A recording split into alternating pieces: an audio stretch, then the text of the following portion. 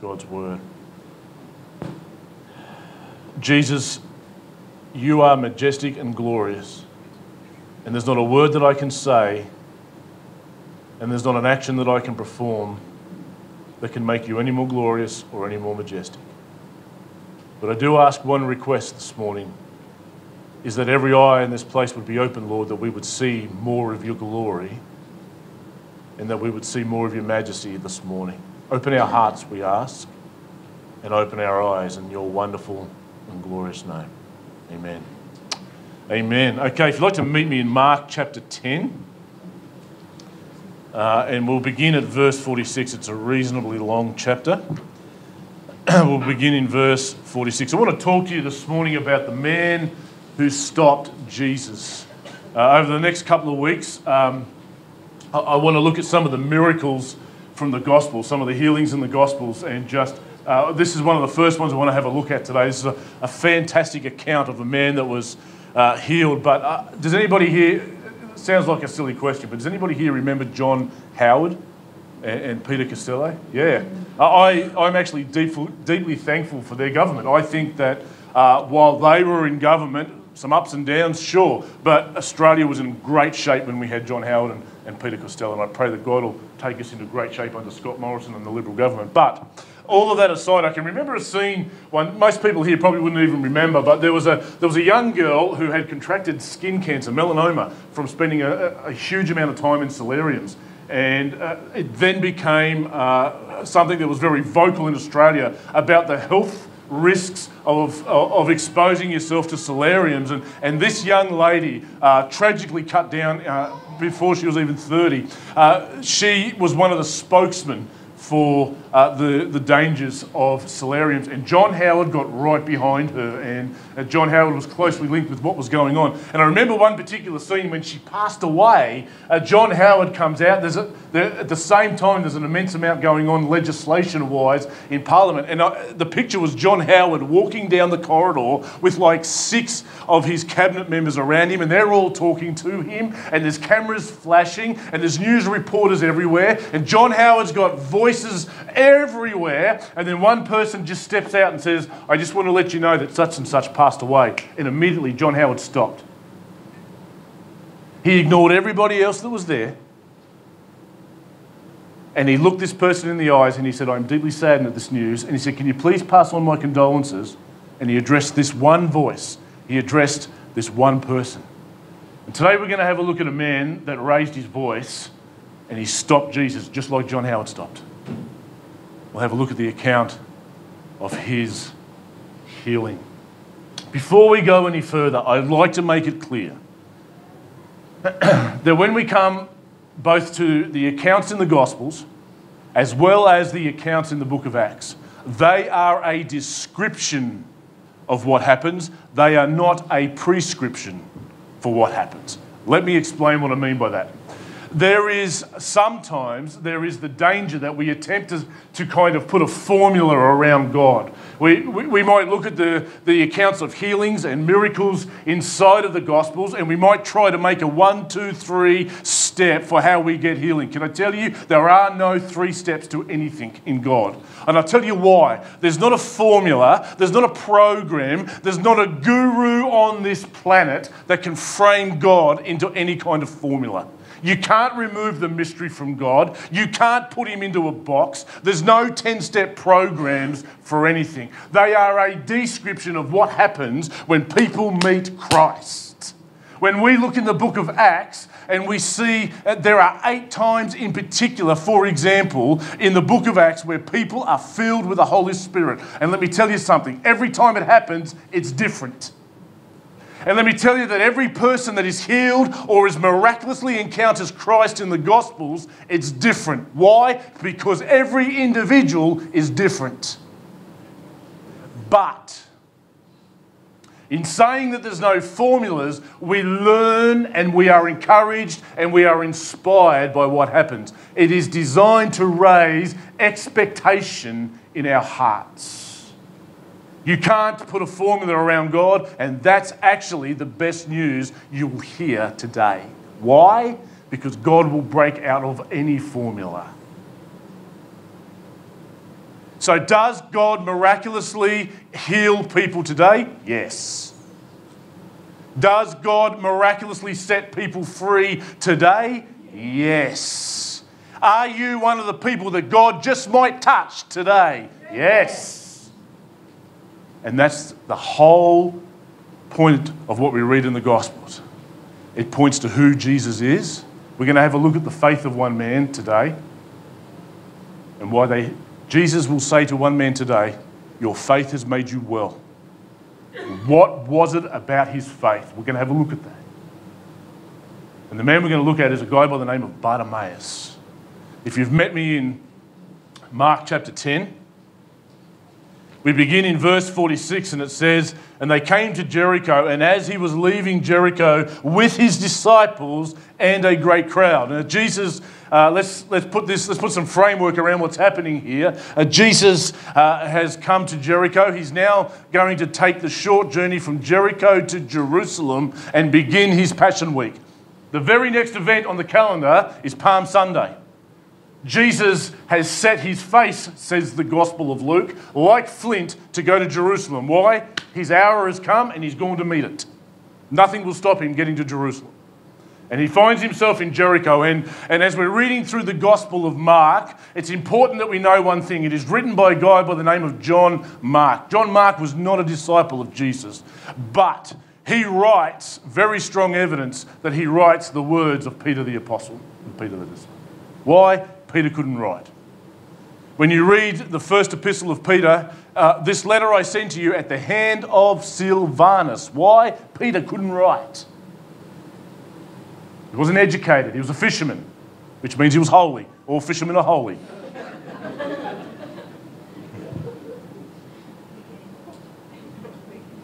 We're getting there. Reuben doesn't catch fish, so he doesn't apply. You can't turn me down today, champ. so, so here we find Jesus in Jericho heading off to Jerusalem.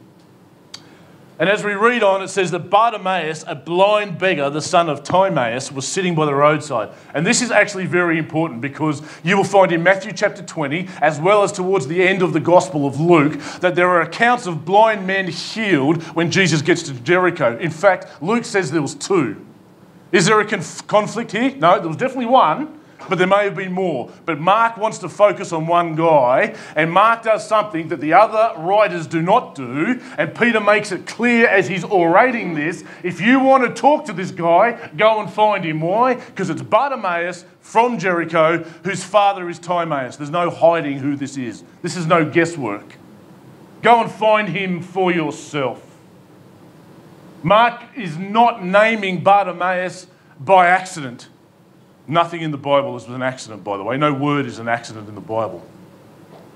Bartimaeus is named deliberately. Mark makes it clear. But Bartimaeus is a blind beggar. You probably couldn't have got any lower than to be a blind beggar in this day. You made your, you made your money by positioning yourself correctly. It's all it's like real estate. It's all about location. You, you always sought the prominent place near the temple or anywhere like that where people might be more willing to give you something. And Bartimaeus has cut a living, it would appear, from being a beggar. He would most likely, most invalids and blind people in the first century were placed there by family members so that they could beg. Bartimaeus, a blind beggar, the son of Timaeus, was sitting by the roadside, just like he would have done any other day. And just like he has done for many days previous. And when he heard that it was Jesus of Nazareth, he began to cry out.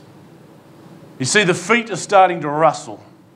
A crowd is starting to form. Voices are starting to lift. And Bartimaeus must be getting inquisitive. What's going on here? And somebody said, Jesus of Nazareth is coming. When he heard that it was Jesus of Nazareth, he begins to cry out. We're at the end of Jesus' ministry. This guy has heard about a man from Nazareth. He's heard about a man that can open blind eyes. He's heard about a man that can raise the dead. Why? Because when we get to the Gospel of John, have formed and followed Christ because everyone's heard about Lazarus.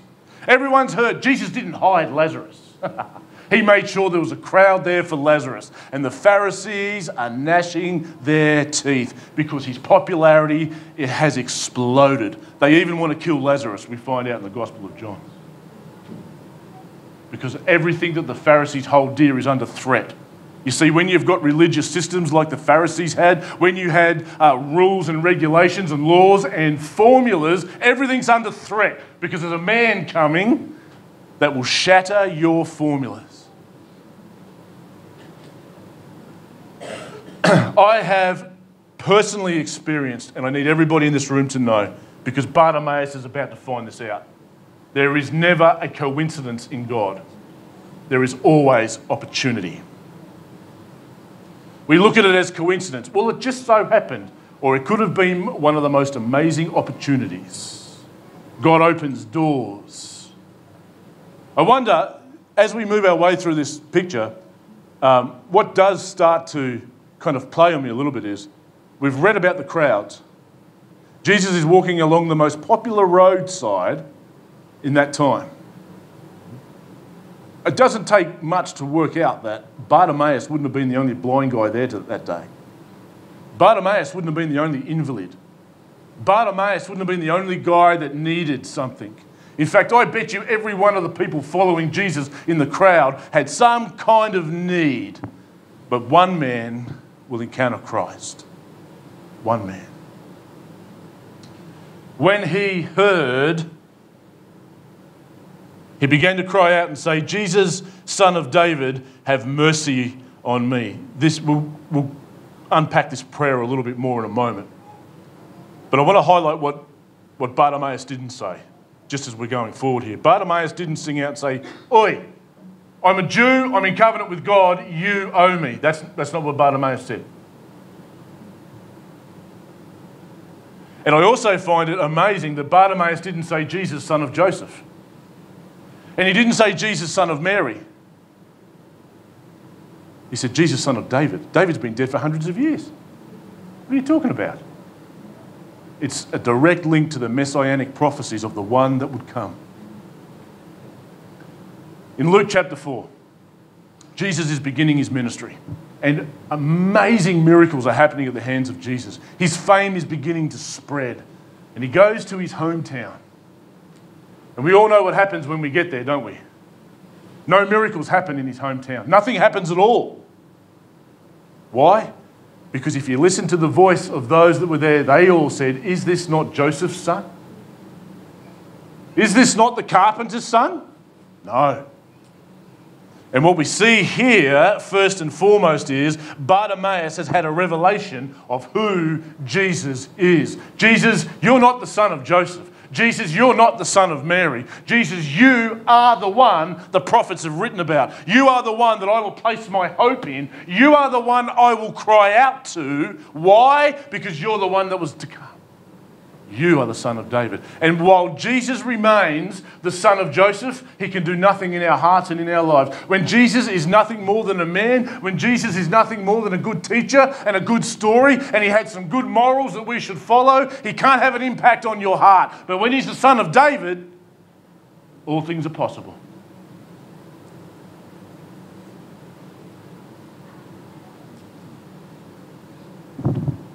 The Jesus prayer is this Jesus, son of David, have mercy on me. That word mercy is twofold. It acknowledges the need of the one asking, but it also acknowledges the adequacy of the resources of the one being asked. In the moment that Bartimaeus is crying out, Have mercy upon me, he is exposing that he has a need, and in the same word, he is crying out to the one who can meet his need. C.H. Spurgeon puts it beautifully. C.H. Spurgeon says, I have a great need of a Saviour. But then he turns around and says, I have a great Saviour for my need. That would be what Bartimaeus would say here. I have a great need, and I have a great Saviour for my need. He's, he's not telling God what to do, He is not commanding God, He's not framing God, He's pleading with God and asking, Have mercy on me. Sounds like a desperate plea. I have not looked at all of the historical accounts of revivals and awakenings that have broken out, but I have found a commonality in every single one of them that I have looked at, and that is this. Every single one of them began with a thirst and a desperation in the heart of God's people that was not quenched until God came in power. We are missing the desperation that Bartimaeus is crying out with here. This pastor is missing that desperation. We all need that kind of desperation. It's the desperation that says, if you don't meet my need, Jesus, nobody else is going to. I can't do it myself. But have a look at what Christ can do to somebody in that place. Jesus, son of David, says Bartimaeus, have mercy on me. And many rebuked him. Happens today sometimes as well. Sometimes the many rebuke the few that cry out. Many rebuked him. Why? They're trying to maybe keep him silent, keep face. Uh, you, Jesus isn't going to stop for you. Uh, look at the crowds here. And they rebuke him. Many rebuked him, telling him to be silent. But I love the response of Bartimaeus. Are you picking up on some, some faith notes here? One of them is, he cried out all the more. And that word cry there, both times it's used in this passage, cry and cried, is a Greek word called krazo. The next time you will see the word krazo is when Christ is upon the cross crying out, My God, my God, why have you forsaken me? That's the word used when they say, and he cried out. And when Christ cried out from the cross, he cried out in anguish. When Christ cried out from the cross, he cried out from inside, deep, deep inside. And it's the same cry that we hear at the lips of Bartimaeus. Doesn't matter what they say. And can I tell your friends, today, don't let anybody rebuke you. You cry out to God just as loud as you want to. You live your life for Christ as loud as you want to. Have you ever heard the phrase, oh, they're too heavenly minded to be any earthly good? Has anybody ever heard that? It's rubbish. We need more people that are heavenly minded. Don't let anybody tell you that you're too spiritual. You can't be too spiritual. Do what Bartimaeus did and cry out all the more. Dance all the more. I won't bless you with my dancing. Many rebuked him, and the cry out is a cry of desperation. Something amazing happens. Many rebuked him, telling him to be silent, but he cried out all the more, Son of David, have mercy on me. And Jesus stopped. I find this amazing about Jesus. Jesus came to save the world, and he ran nowhere. Jesus came to save the world and he walked everywhere he went. He hardly, the only time we see him on a donkey is in a moment when he, when he grabs a donkey and rides on into Jerusalem. But apart from that, he walked everywhere. And uh, even Zacchaeus, you read the account of Zacchaeus, he, he, he's, he's passing through Jericho, and this little weird guy jumps up a tree. And he stops and has tea with Zacchaeus. You see, what sometimes we consider to be interruptions, Jesus saw as opportunities. And a man cries out, and Jesus stops. You know, faith will stop Jesus every time. We're going to have a look in a moment that the amount of faith is actually not what is important. Why? Jesus was the very one that told us if you have faith the size of a mustard seed. Does anybody here know how big a mustard seed is? Uh, when, when Jesus said faith as big as a mustard seed, he was highlighting the fact that the amount is not what's important. The amount of your faith in this room this morning is not what's important. Save the eggs and tomatoes until I'm finished. But Jesus stopped, and Jesus stopped because a man cries out from desperation. Jesus says to the crowd, you know, Jesus could have gone to Bartimaeus himself. It's not an accident that Jesus said to the ones that rebuked him and told him to be silent, call him. Have a look at what Bartimaeus does here. And they called the blind man, saying to him, Take heart, get up, he is calling you. Bartim- this is the only possession that Bartimaeus has. And throwing off his cloak, No regard for a blind man trying to find his cloak again. It's like Reuben trying to find fish. And throwing off his cloak, he sprang up and he came to Jesus. And Jesus said to him, Everybody loves this line. Preachers live on this line. We, as preachers, we love this. We can preach on this one all day. What do you want me to do for you? I want to ask everybody in this, quest- in this room today this one question. If Jesus was standing here, what would you answer him if he asked you this question? And this is not the first time he's asked it. In fact, just previous to this, he asked the same question of John and James. You see, John and James, full of pride, full of ambition, they're pretty political, these two guys. They're twins, by the way, John and James. That's the writer of the Gospel of John. They come to Jesus and say, We would like you to grant us something. Jesus replies, What do you want me to do for you? Who knows that when your kids come and say, Dad, I need something? Who knows that you clarify before you say yes, right? Here's another thing I found. Whenever Jesus asks a question, he's not looking for information. He already knows what James and John wants. He wants James and John to know what they want. So he asks them a question What do you want me to do for you? And they say, Give us the place at your right hand in power and authority. And Jesus says, You don't know what you're asking. and it begins to highlight you don't know where you're asking that from. Why? Because their answer to that question came from a place of pride. It came from a place of seeking power and privilege. And can I tell you, the answer for you will be the same as it was for James and John. And you can read that to find out what the answer was. But now Jesus comes to a man that's crying out to him, crying out for mercy. And he says, What do you want me to do for you? He knows Everybody else knows that Bartimaeus is blind. Jesus knows that Bartimaeus is blind. Jesus wants Bartimaeus to use words and say what he wants. And can I tell you, don't be afraid to say what you want. In fact, be specific. Faith is specific. Doubt is often general. But if Jesus could grant you one request this morning, if Jesus could do one thing for you today, what would that be?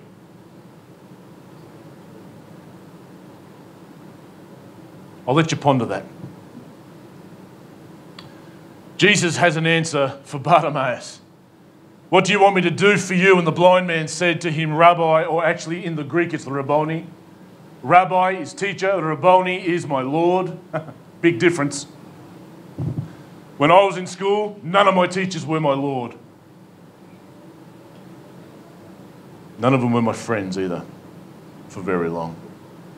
And the blind man said to him, Rabboni, let me recover my sight. And Jesus said to him, He says, Go your way, your faith has made you well. The faith, the word for faith used here is the word pistis, which is a firm persuasion or conviction based upon hearing. Romans 10, faith comes by hearing, and hearing by the word of God. And there is a firm persuasion and conviction that has developed in Bartimaeus about who Jesus is and what Jesus can do for him based on what he's heard. That's why it's important to tell people about Jesus. That's why your testimony is amazingly important. It's telling people what Jesus has done for you. No one can take that away from you. We can argue facts and science until we're blue in the face.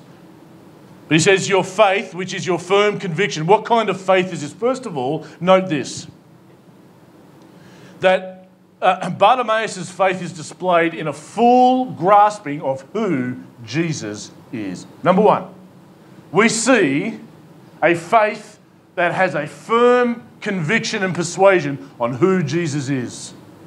There is an amazing danger of sitting in church pews for many, many years and not, still not knowing who Jesus is.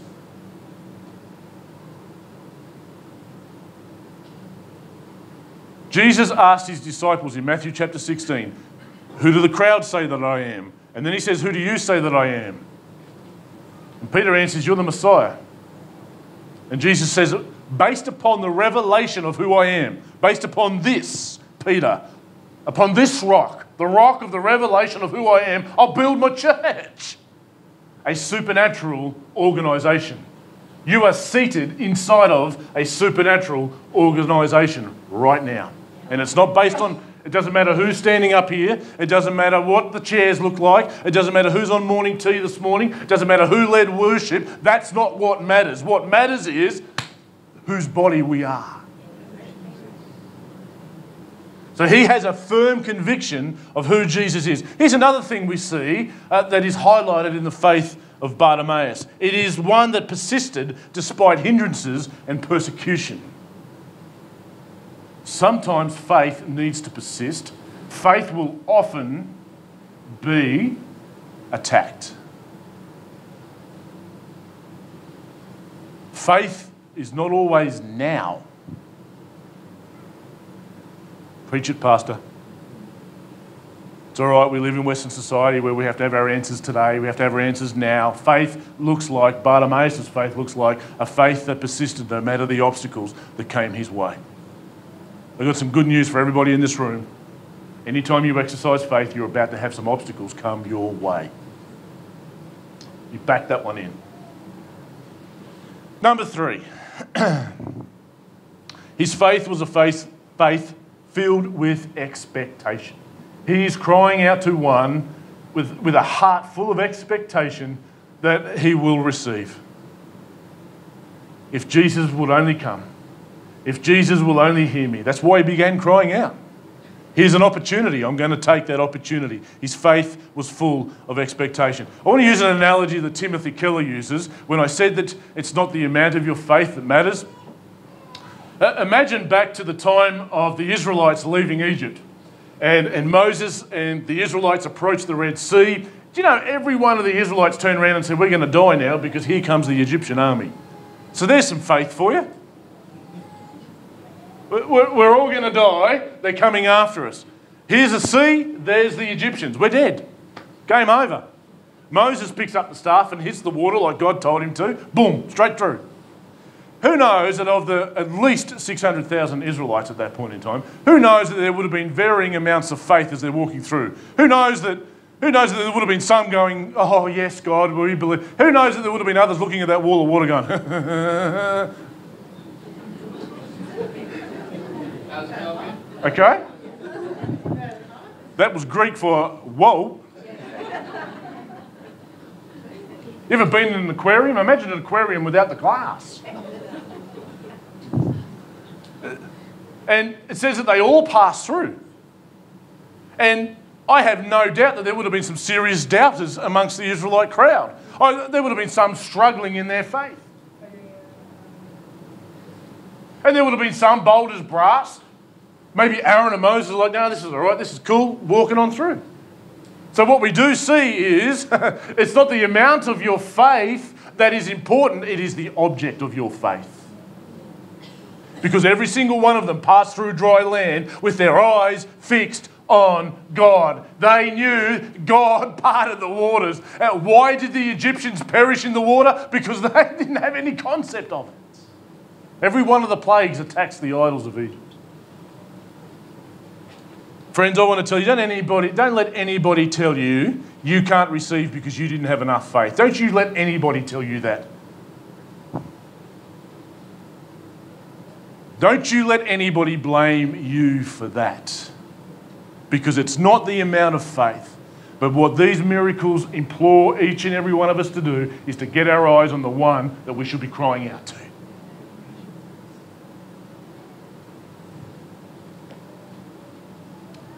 Jesus goes on and says, Go your way, your faith has made you well. And that word well there is actually whole. Who knows that Bartimaeus could have received his sight there and then and still been unwhole? Because anything that's whole is something that is no longer damaged and with nothing missing. And who knows that we live in a world full of damaged, broken people? This is going to surprise everybody here, I know. But there was an enormous amount of time where, and I still am to a large degree, broken and damaged. Why? Because sin does something to the human heart. As one American preacher put it, if sin was blue, we'd all be smurfs.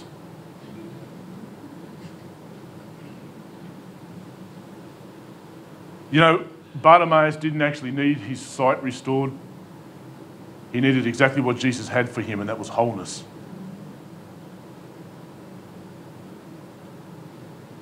And actually, the one thing that Bartimaeus needed is the same thing that we all need as well. We all need our eyes opened.